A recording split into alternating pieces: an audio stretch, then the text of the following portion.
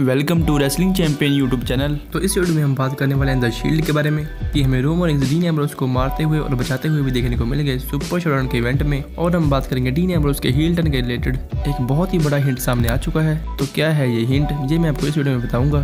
तो ये वीडियो बहुत इंटरेस्टिंग होने वाली है। तो बिना टाइम वेस्ट किए स्टार्ट करते हैं। तो हमें सुपर शोडन के इवेंट में एक six man tag team match देखने को मिला था, जो था Shield versus Dogs of War के बीच। तो हमें मैच की स्टार्टिंग में डॉग्स ऑफ़ वॉर की एंट्रेंस देखने को मिलती है सबसे पहले। और इसके बाद एंट्रेंस होती है द शील्ड की। और इसमें देखने वाली बात ये थी कि शील्ड ने अपनी अपीरेंस ली है क्राउड से। जी हाँ, मतलब शील्ड ने अपनी क्राउड में से अपीरेंस ली है। और वो अरीना भी था बहुत बड़ा तो द शील्ड को बहुत ही चल कर आना पड़ा रिंग तक। तो ये मैच स्टार्ट होता है। और ये मैच काफ़ी अच्छा चलता है। मतलब ये मैच काफ़ी हाई वोल्टेज वाला मैच था। लेकिन इस मैच के बीच में हमें एक बहुत ही शॉकिंग चीज़ देखने को मिली। और ये शॉकिंग चीज़ थी एक मिसकंसेप्शन तो ये थी कि जब रोमर सुपरमैन पंच मारने लगते हैं, ड्रू मैकेंटायर को, और ड्रू मैकेंटायर के पीछे खड़े होते हैं डीन एम्ब्रोस। और ये रोमर को पता नहीं होता। तो रोमर लेते हैं पोजीशन अपनी सुपरमैन पंच मारने की। तो जब सुपरमैन पंच लगने ही वाला होता है तब ड्रू मैकेंटायर वहाँ से मूव करते हैं। और वो सुपरमैन पंच लगता है डीन एम्ब्रोस को।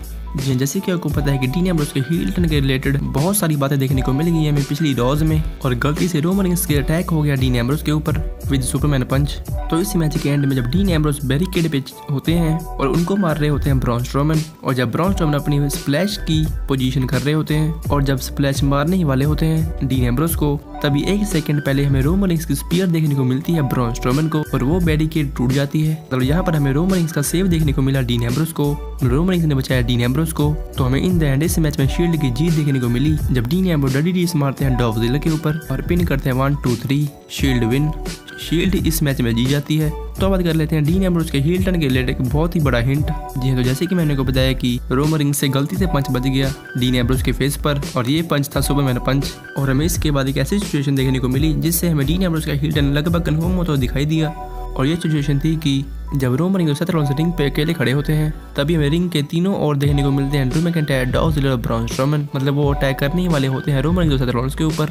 तभी हमें रिंग के चौथी ओर देखने को मिलते हैं डीन एम्ब्रोस। तो उस वक्त सभी फैंस कंफ्यूज थे कि क्या करने वाले हैं डीन एम्ब्रोस। क्या वो डॉग्स ऑफ़ वॉर का साथ देंगे और क्या वो द शील्ड का साथ देंगे। लेकिन इन द एंड उन्होंने द शील्ड का साथ दिया। तो यहाँ पर इसका ये मानना है कि डीन एम्ब्रोज आने वाली डॉग के एपिसोड में ये बात को निकालेंगे। जी हाँ, मतलब डीन एम्ब्रोज ये बात के ऊपर लाइट देंगे कि तुमने मुझे मारा था सुपरमैन पंच और हमें इसी टॉपिक पर डीन एम्ब्रोज और रोमरेंस के बीच बहस देखने को मिलेगी।